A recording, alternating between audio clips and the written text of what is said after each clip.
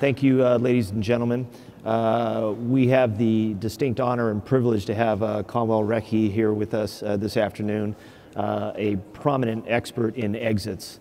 Uh, in, his, in his career, he has had about 25 exits by M&A.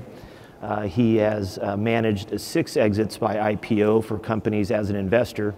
And on the personal side, he has uh, gone through two exits by IPO as a businessman. So I think when it comes to exits, uh, Kanwal Rekhi uh, knows what he's talking about. So uh, Kanwal, the first question up for you is uh, the question of the segment.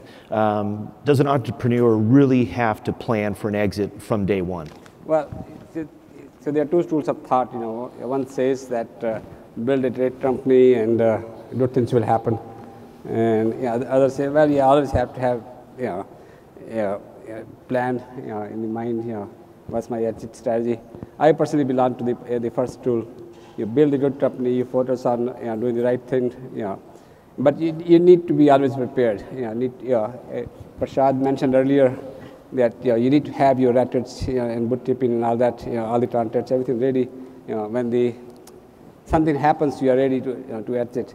But I personally believe that entrepreneurs should focus on getting this company, you know, customers, markets, growth, profitability, you know, stay on the fundamentals, and you know, nice stuff will happen.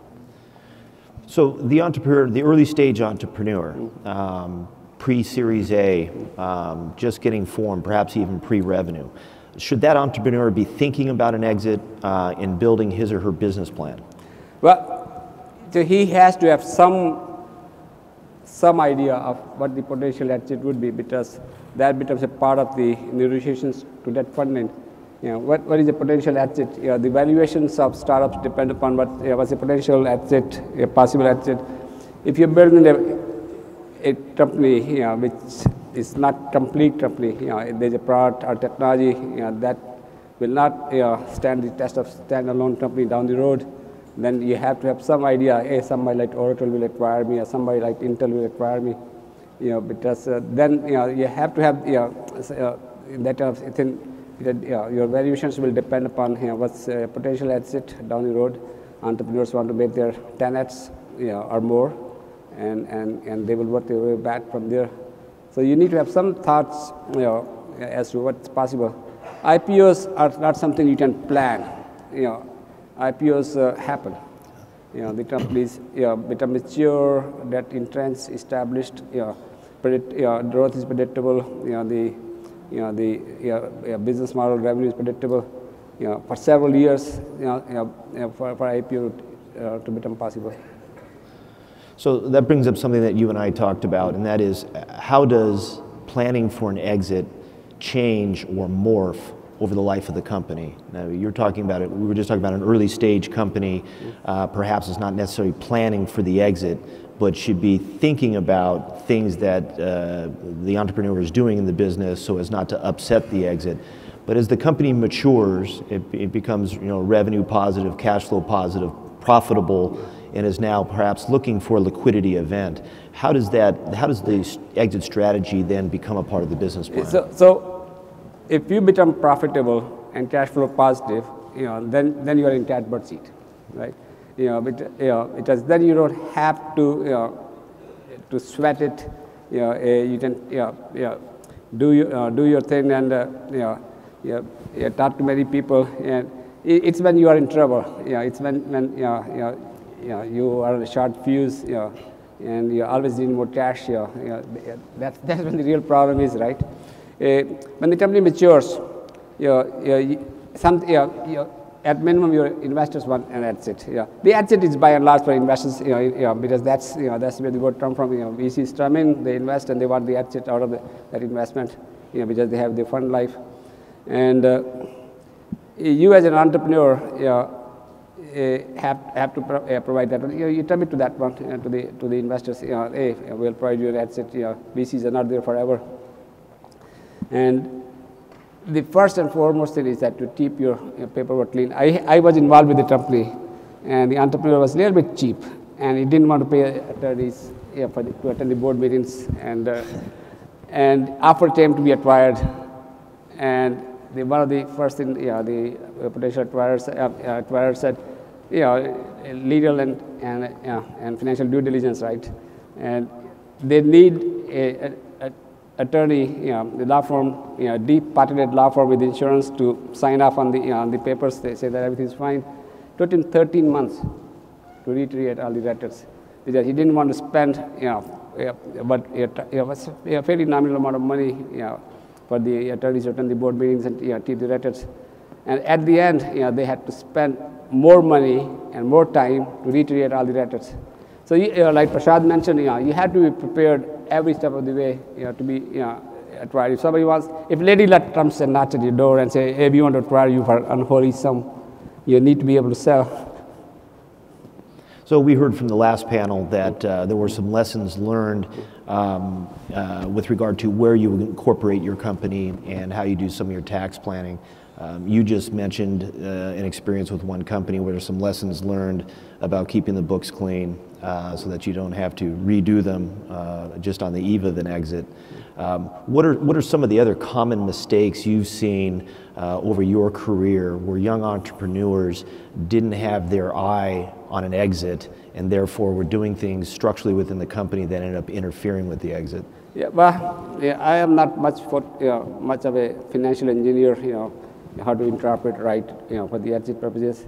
And as a matter of fact, I'm not quite on top of, you know, you know they will advise you along the way, you know, how to keep your company you know, clean and, and ready, you know, you know, in case you know, something was to happen. The IPOs require a lot more you know, work than, than the mergers. But mergers, you know, when somebody acquires you, you know, they need to make sure that Oh, yeah, one of the areas I should have mentioned to you was intellectual property also. You know, the ownership of intellectual property, the rights that you give to some of the customers of, your intellectual property, that becomes a, a problem at the end of, uh, at the end, you know, for merger. We had an issue in one of the, the companies where it took six months yeah, to get the clarity as to what rights you know, some of the customers had uh, you know, as a part of our initial sales. You know, when we made initial sales, you know, the large customers required us to give them certain rights. And uh, yeah, there was, was, also we had used somebody else's technology in our part at, in one of the earlier phases of our, our you know, uh, business. We stopped using that technology and uh, along the way, and we were still paying them royalty even though we were not using technology. And that became a problem because that other company got acquired by competition of, of our acquirer. And uh, so you need to have a fair amount of clarity as to where your IP you know, is coming from and, you know, and who owns it clearly. So when the new guys come in to look at your stuff, you know, you know you're ready. I was going to ask you exactly that about the intellectual property. As an investor, when you were uh, considering investing in a company, um, with regard to the intellectual property, to what extent are, are you as an investor looking at uh, how it is protected, the intellectual property of the company itself, but also perhaps intellectual property that the company is licensing from others? Do you build that into your uh, in investment analysis? Oh yes, absolutely. You know, when we are doing investments, we, we, are early stage investors, so it's not a problem very often. But uh, every once in a while somebody leaves with a licensed technology from, from a previous employer or, or, or, or yeah, you know, then you have to spend a fair amount of time because uh, that is a sore area at the end, you know, who owns what and uh, you know, what rights everybody has. And if, if, you know, sometimes you get licensed technology where they say, well, you can use it in your products, but you cannot pass it on to, to your follow, you know, successor. And uh, you know, the new acquirer needs that technology and you don't have rights to give it to, the, to him. So you need to have a fairly clean you know, ownership you know, and rights you know, if you're going to use any technology in your product. And we as investors you know, go through the proper uh, due diligence to make sure that everything in the company is uh, you know, owned clearly and, and has a proper rights. You, know, you get in trouble at the end otherwise. All right, uh, so Kanwal, you're an early stage investor, so you really see these companies uh, from their origin through the exit or the liquidity event.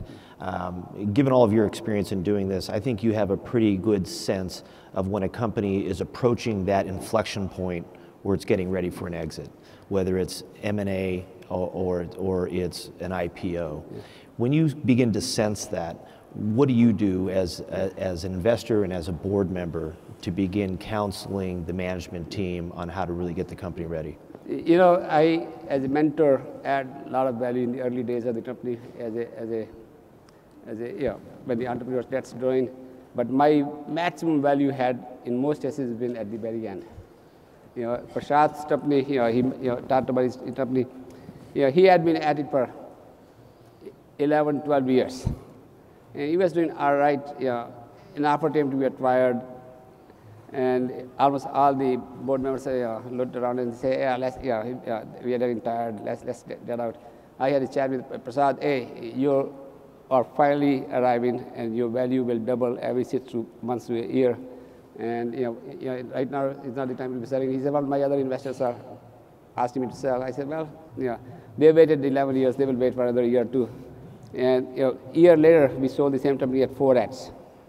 You know, and if I had not intervened, you know, with him in private, and uh, you know, and, uh, and even you know, you know, the value creation becomes very rapid at the end. You know, when when you find your market, when you find your customers, when your revenue starts to happen, and yeah, the life, yeah, 11 years, you know, he, he was worth X, and last year was saying not selling the company, he was worth 4x.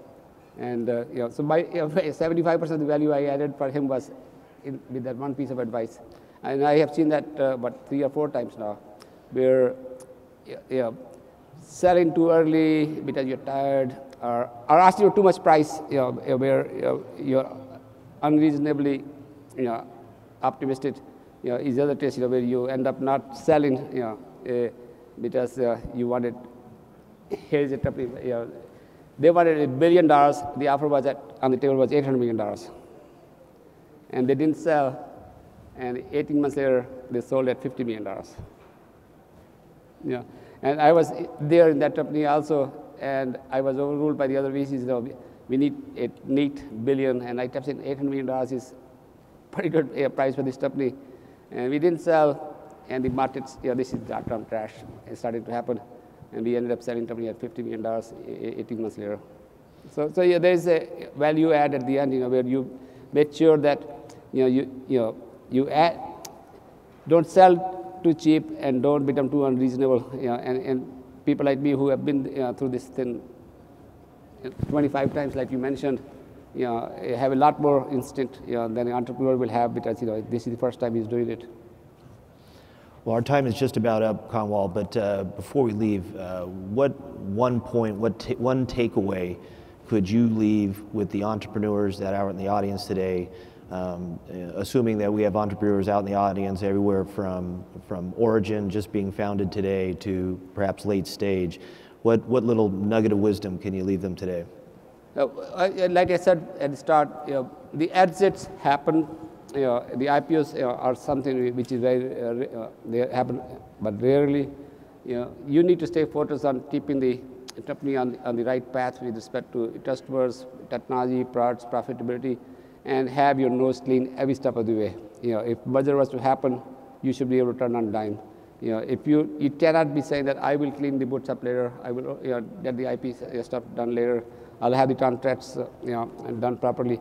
Every step of the way, you have to be ready. And so my advice to entrepreneurs is that uh, you should run your business as if, you know, like Prasad mentioned, that's I did my phrase, you know, due diligence is happening tomorrow. Very good. Kanwal, thank you very much.